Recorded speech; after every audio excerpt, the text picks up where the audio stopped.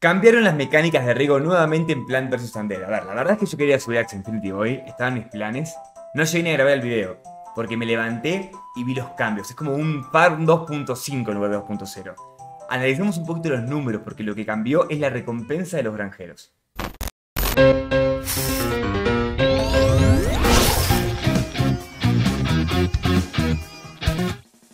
¿Qué tal chicos acá Si les gustan los juegos NFT y todo este universo nuevo que se está desarrollando, este es su canal, gracias a todos por el apoyo, por suscribirse a mi canal de YouTube, de corazón se los agradezco. También en Twitch y también en Instagram, bueno y en Twitter que estamos casi en 100k, una locura. Bien, sobre mi video de ayer, un segundo, rapidito. El video de ayer es importantísimo para los granjeros. Vi muchos comentarios de, este video no me interesó Manu porque soy granjero, no tengo plantas.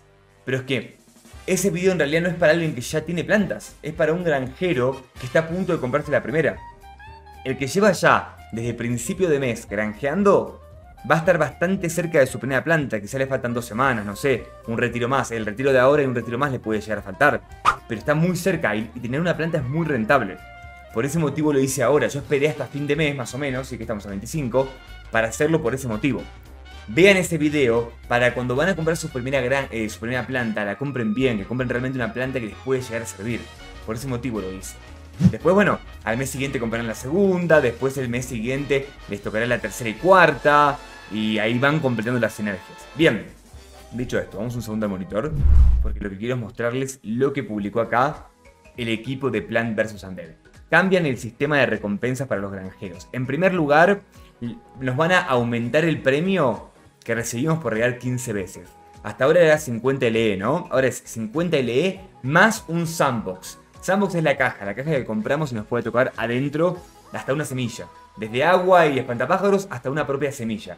Ahora vamos a ver con qué probabilidad y todo. Pero para que lo entiendan, esto es una mejora. Ahora algo que podemos considerar una empeora, ¿se dice? Un nerf. Bien. No nos van a tocar más girasoles por regar. Recuerden que ahora es mucho más rentable regar una planta en 0 que una planta en 100. En 100, 0, probabilidades de que nos dé una, un girasol. Mientras que en 0 hay 10% de probabilidades. ¿Recuerdan eso? Bueno, eso no está más. Ahora, no importa cuál reguemos, es lo mismo. El objetivo es completar lo de arriba. Las 100, este, las 15 riegos. Ese es el único objetivo. 15 riegos sin importar la cantidad de riegos que tenga la planta.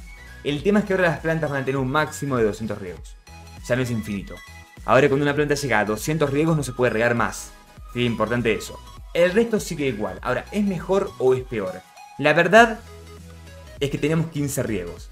La probabilidad máxima de que un riego se convierta en retoño de girasol era del 10%. Esa era la probabilidad máxima, ¿ok? ¿Qué quiere decir esto? De que ahora tenemos un 100% de probabilidad de que nos toque un premio que vale 100 LE.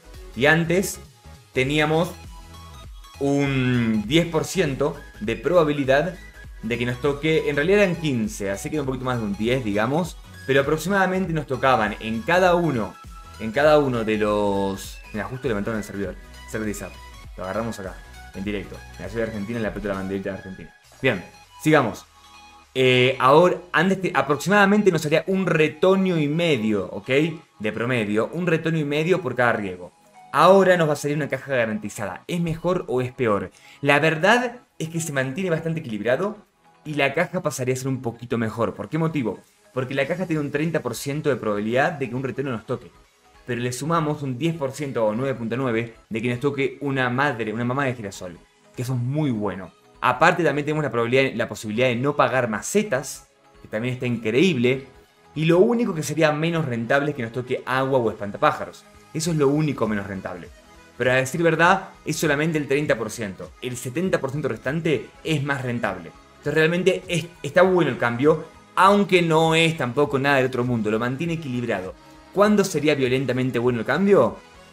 Y va a pasar cuando alguno de ustedes toque una semilla. El día que uno de ustedes toque una semilla, en ese momento, este cambio fue para toda la vida ultra rentable para ustedes. Así nomás lo digo.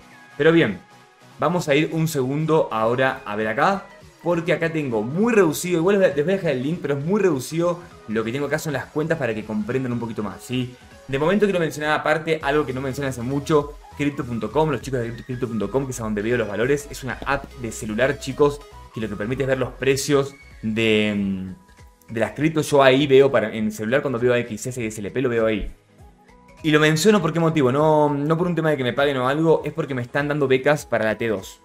Así que les agradezco cualquier tipo de apoyo, dejo el link en la descripción, ¿sí? Porque me dan becas para la T2 y eso me ayuda a mí a crecer más la academia y dar más cantidad de becas. Entonces quiero devolvérselos de esta forma.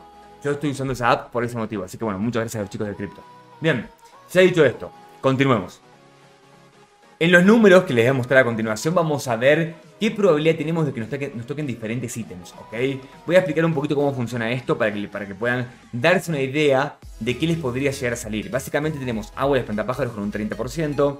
Lo puse en la escala de 0 a 100 porque hay gente que no entiende la escala de 0 a 1. Dos macetas pequeñas, 30%, un retoño de girasol, 30, una mamá de girasol, 9.9 y unas semillas 0.1, ¿ok? Hasta ahí vamos. Bien, entonces, ¿qué es lo más rentable que nos salga? Por supuesto la semilla, que vale 10.000 LE. Si no la, mamá de girasol, si no el retoño y la maceta, y lo que realmente no nos rinde mucho es el agua y espantapájaros. Esta es la verdad. Agua y espantapájaros mucho no nos va a rendir. Voy a mover... Bueno, no voy a mover nada. Lo dejo acá. Lo voy a, poner aquí un costado, pero mejor no. Lo dejamos así. Eso no nos va a rendir porque en un principio sí, pero después vamos a empezar a acumular muchísima agua. Vamos a tener 50.000 de agua. Y realmente creo que los developers de PVU van a tener que hacer algo. Los de Plant van a tener que hacer algo con ese agua porque nos va a sobrar el agua, ¿ok? Es lo único que no es rentable. Todo lo demás sí lo es. Macetas vamos a usar todo el tiempo. Girasoles vamos a tener que comprar todo el tiempo.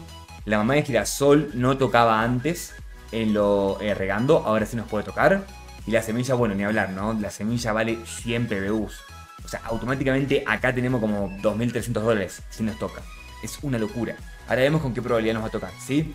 Entonces, esta, la cantidad de quest es la cantidad de días. ¿Por qué? Hacemos una quest por día, los 15 riegos. Entonces ponemos 30 por un mes. Bien, ¿qué nos dice más probable? Más probable dice cuál es el valor más probable de ese ítem que podría salirnos en la cantidad de días que puse acá.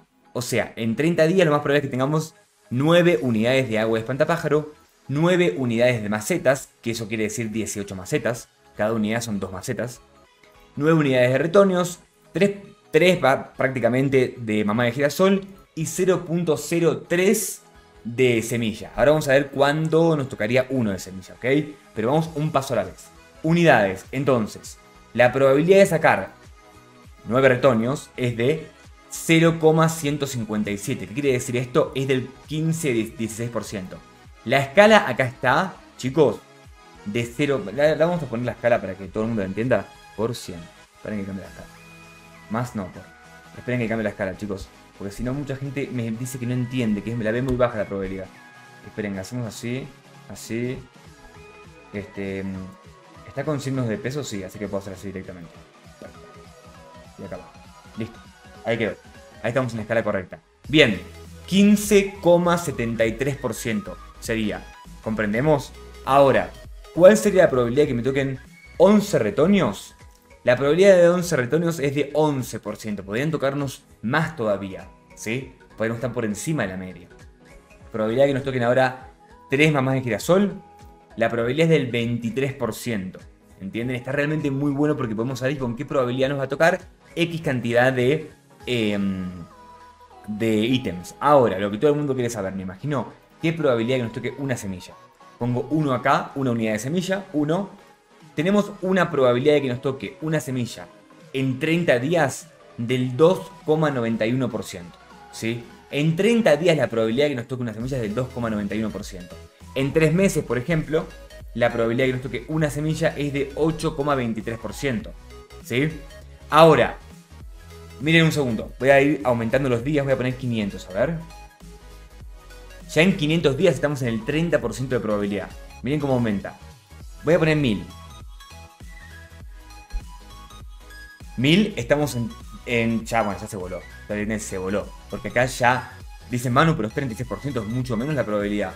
¿Por qué no fue más alta? En realidad es más alta porque es la acumulada. Si yo acá le pongo, en lugar de falso, le pongo verdadero.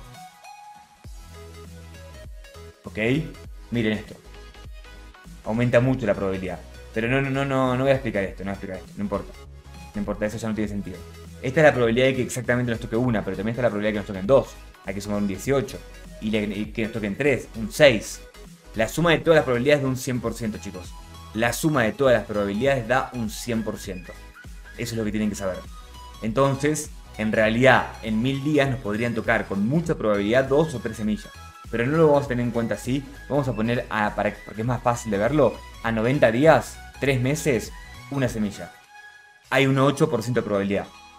Y la verdad es que si les sale la semilla, ya descorchen un champán. Porque ya este nuevo sistema de riego lo rentabilizaron al 1000%. Ya está, para toda la vida quedó rentabilizado. ¿Comprenden? Pero bueno, esto es para que lo vayan viendo. Ustedes pueden poner acá las unidades de lo que quieren. Y acá les voy a decir la probabilidad que tendrían. ¿Entienden? Entonces, le pongo 0 acá. Probabilidad de 100%. Le pongo 15 días, medio mes. Ok, lo más probable en medio mes es que nos hagan 4.5, serían 4 o 5, 4 o 5 aguas espantapájaros. Si ponemos 4 la probabilidad se va a 21%, si ponemos 5 la probabilidad se va a 20%. ¿Ven que queda ahí? Hay un poquito más de probabilidad de 4 que de 5, pero queda ahí muy parejo. Espero que lo entiendan porque así es como funciona esto. Entonces les voy a ir diciendo acá el valor más probable y acá las unidades para que ustedes pongan entonces cuánto. Si les da 4.5 pueden probar con 4 y pueden probar con 5. A ver cuál es más probable. Si les da 4.7 deberían probar con 5, porque estamos más cerca de 5. ¿Entienden cómo funciona? Bien chicos, lo dejo por acá. Ah, les voy a dejar el link para que puedan probar ustedes en la cantidad de días que quieran, la probabilidad que hay. Esto fue todo, espero que les haya gustado, les mando un saludo chicos. Chao.